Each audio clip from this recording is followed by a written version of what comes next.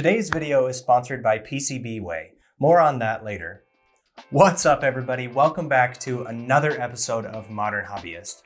Today I'm going to be upgrading my motorized camera slider that I made a few years ago so it not only works a lot better, but it's also much sturdier and it looks a lot better too. Let's get started. Welcome back everybody, I'm Charlie with Modern Hobbyist. You may remember in a previous video, I built a motorized camera slider using some extruded aluminum and a stepper motor to move the camera along the track. That project turned out pretty cool, but there were several issues with it that caused me to barely use it over the past year. First of all, I designed Mark 1 to be used with my iPhone, which is what I was recording with at the time, and I've since upgraded to a big boy camera, so I'll need to redesign the gantry and mounting system to support it. Another problem that I had with Mark 1 wasn't so much with the slider itself, but more the tripod I was mounting it on. I was just using a cheap tripod off of Amazon and it wasn't sturdy enough to support the weight of the camera slider plus my iPhone, let alone a digital camera.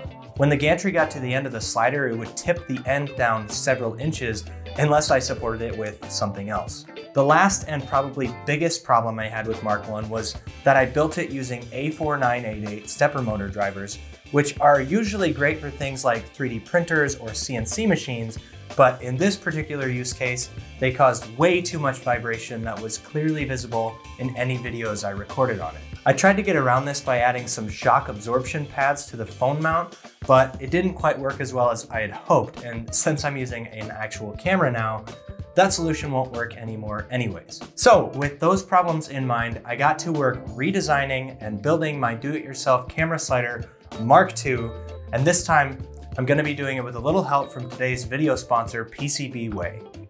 PCBWay is a company that specializes in prototyping and small volume production, making it the perfect one-stop shop for all your do-it-yourself project needs.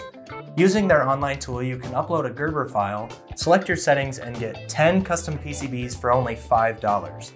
They also provide 3D printing, CNC machining, sheet metal fabrication, and injection molding services. So make sure to check them out in the link in the description below so you can take your next do-it-yourself project to the next level. Huge thanks to PCBWay for sponsoring this video and for providing the PCBs for this camera slider. Now let's get back to building it.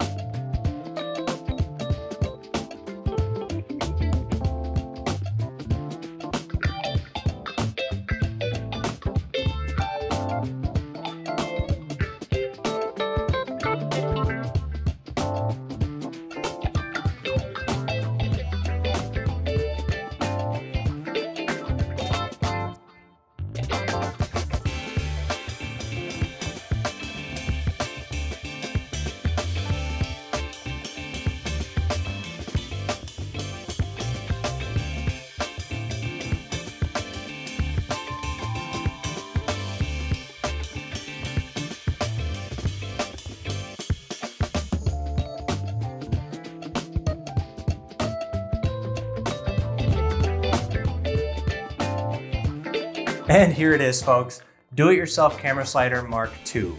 Just like Mark 1, it can be controlled over Bluetooth using the Blynk app, and it has dual end stops so it knows when it has reached the end of its track, at which point it can turn around and go in the other direction. But unlike Mark 1, this time I designed it with TMC 2209 stepper motor drivers, which provide much smoother movement than the old ones. Plus I added several mounting points on the bottom of the track so I can use multiple tripods to mount it at whatever angle I want. I redesigned the gantry plate so it could support DSLR or mirrorless cameras, and I was able to shrink down the new PCB a whole bunch so the overall electronics enclosure could be much more discreet. I also redesigned both the motor mount and the idler pulleys to be much more streamlined, easy to assemble, and just sturdier overall. With all those updates, this version is actually usable with my new camera, and I think it turned out absolutely awesome. But I think the biggest upgrade over Mark 1 was that this time I printed it in blue, so yeah. Anyways, that's it for this project. I hope you guys enjoyed it. I know I sure did, and I'm super excited to use it to hopefully take my videos to the next level. If you liked this project, make sure to smash the like button, and if you have any thoughts on how I can improve this design, let me know in the comments below.